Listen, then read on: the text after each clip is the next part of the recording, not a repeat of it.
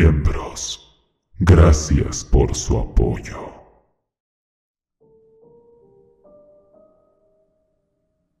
En una pequeña ciudad, enclavada en un antiguo barrio tranquilo, hay una casa.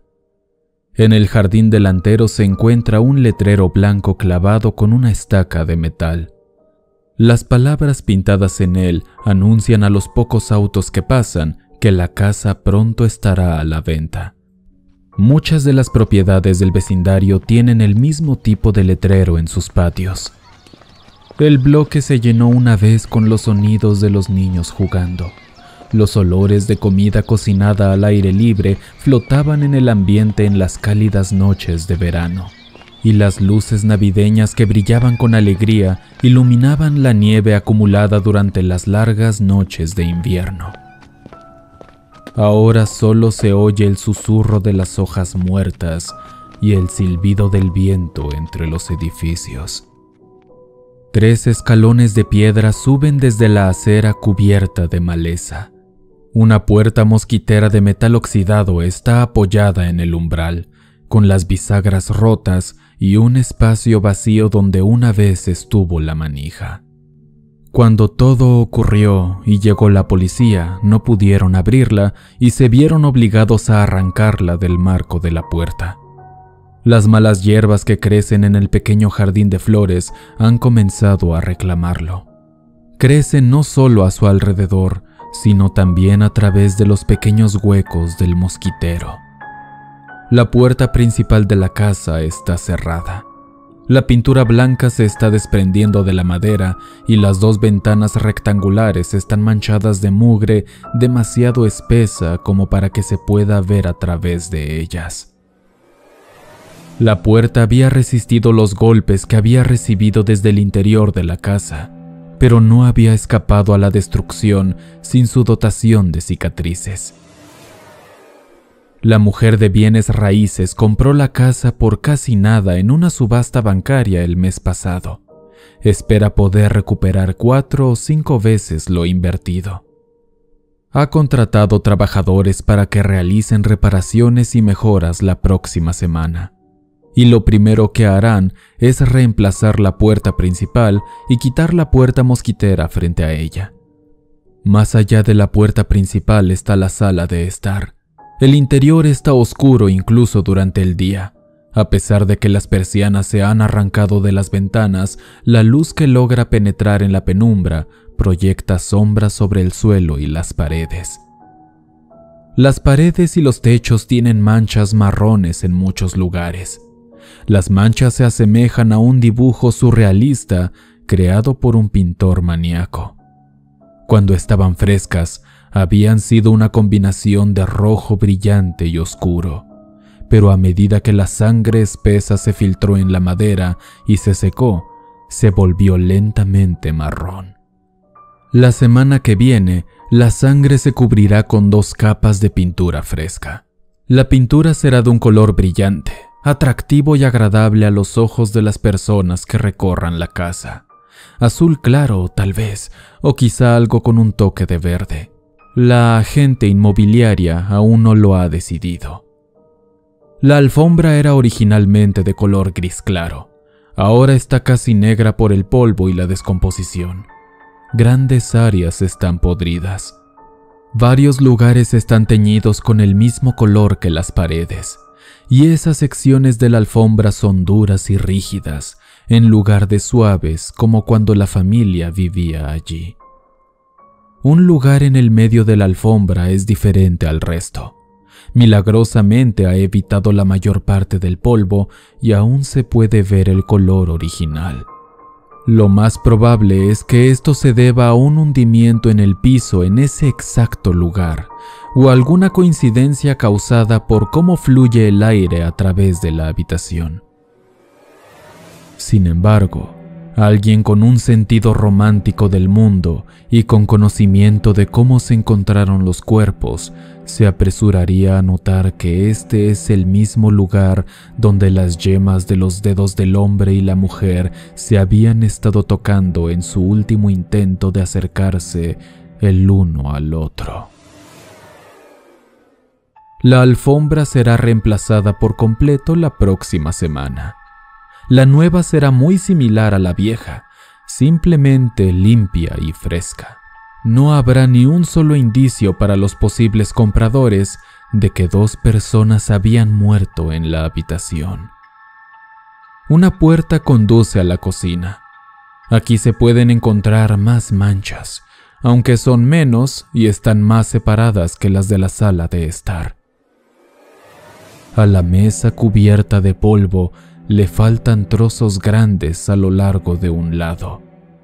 Una grieta larga corre por una sección cerca de donde solía estar el horno. El piso de madera tiene una serie de marcas profundas que se alejan de la mesa y se dirigen hacia las puertas de vidrio que dan al patio trasero.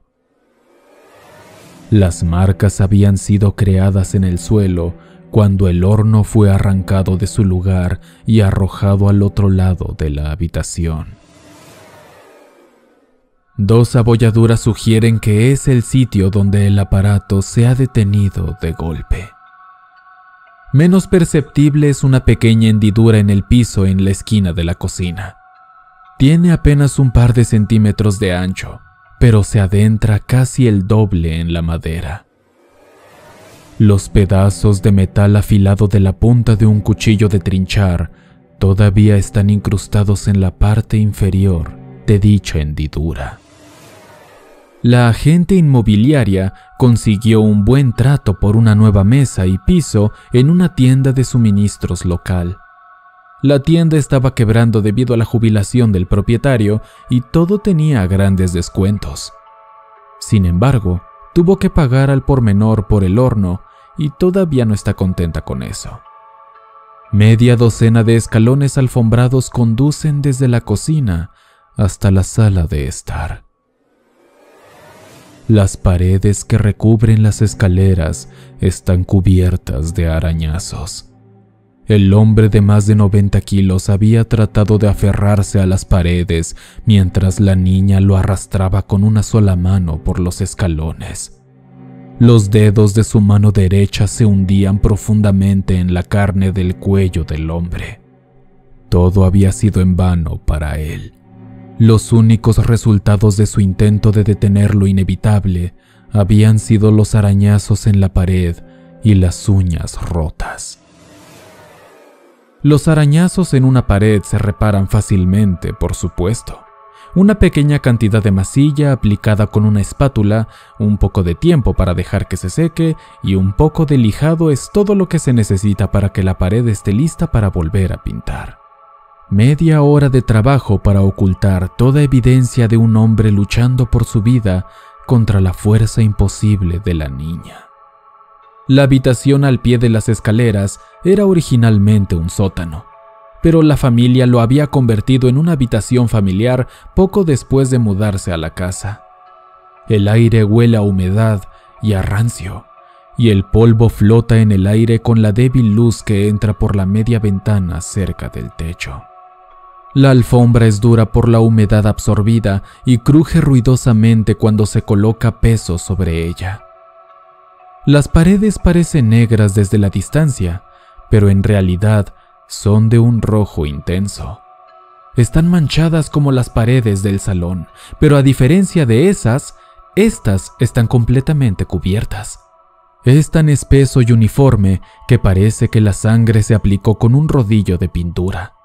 Han absorbido tanto de licor que permanecen rojos en lugar de volverse marrones. Fue en esta habitación donde la casa había llorado sangre. El líquido espeso había bajado desde el techo a lo largo de las paredes en franjas anchas, cubriendo y mancillando todo lo que tocaba.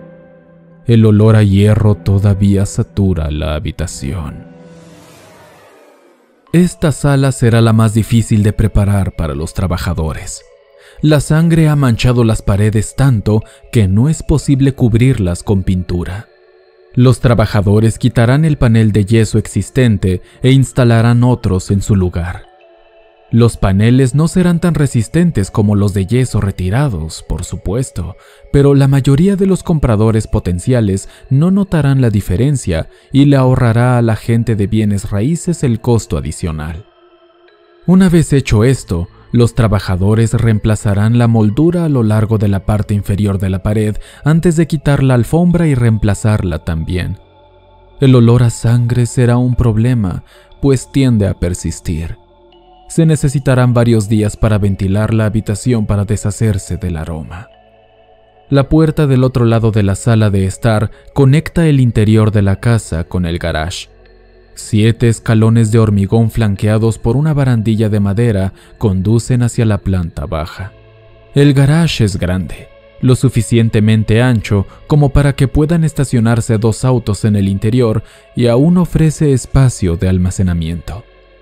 La agente inmobiliaria considera que es uno de los mayores puntos de venta de la casa. La cadena del abridor automático de la puerta del garage cuelga del riel. Tiene forma de lazo. La piel que había quedado atascada entre varios de los eslabones fue retirada por la policía como prueba, pero todavía hay algunos cabellos atascados que se pasaron por alto los trabajadores no tendrán que hacer mucho para reparar el garage. Volverán a colocar la cadena en el abridor, barrerán los clavos esparcidos y los vidrios rotos y se asegurarán de que la caja eléctrica de la esquina cumpla con su función. Al final de cada día que estén en el trabajo, se encontrarán en el garage para fumar y beber cervezas, y ninguno de ellos notará que una pequeña sección del piso de concreto a la derecha de las escaleras es solo un poco más oscura que el resto. En la sala de estar se encuentra el último tramo de escaleras de la casa, las que conducen al segundo piso. Estos son los escalones por los que la mujer fue arrojada mientras le rogaba a la niña que se detuviera. Su cuerpo fue lanzado con tanta fuerza desde la parte superior que ni siquiera pudo tocar los escalones o los barandales y aterrizó directamente en la sala de estar con un crujido repugnante, por lo que aquí no hay nada que necesite repararse. El pasillo de arriba parece estar en buenas condiciones tanto las paredes como el piso. Sin embargo, hay innumerables grietas que insinúan el daño estructural que ha sufrido. Cuando la mujer retrocedió horrorizada hacia las escaleras, el pasillo se retorció como si fuera un ser vivo tratando de envolverla. La inmobiliaria no conoce este daño pero incluso si lo supiera, no querría gastar la cantidad de dinero que se necesitaría para repararlo. Hay cuatro puertas en el pasillo de arriba. No importa cuántas veces los haya abierto la agente inmobiliaria, vuelven a estar cerradas cuando ella se va y luego regresa. Está segura de que se debe al suelo irregular y planea traer topes para las puertas antes de la primera jornada para mostrar la casa a los interesados. La habitación más cercana a las escaleras a la derecha es el baño. Los trabajadores deberán revisarlo en busca de moho, ya que hay algo de esto creciendo en la base de la bañera y a lo largo del fondo del fregadero. Ha habido fugas de agua del lavabo, el inodoro y la bañera. Habían brotado con gran fuerza, como un geyser que surge del baño. El agua estaba oscura y turbia, llena de aguas residuales y aceite. Había salpicado todas las superficies y había provocado un cortocircuito en los enchufes eléctricos justo debajo del espejo. La agente había tenido que llamar a un electricista para reparar el daño antes de que ella pudiera programar a los trabajadores.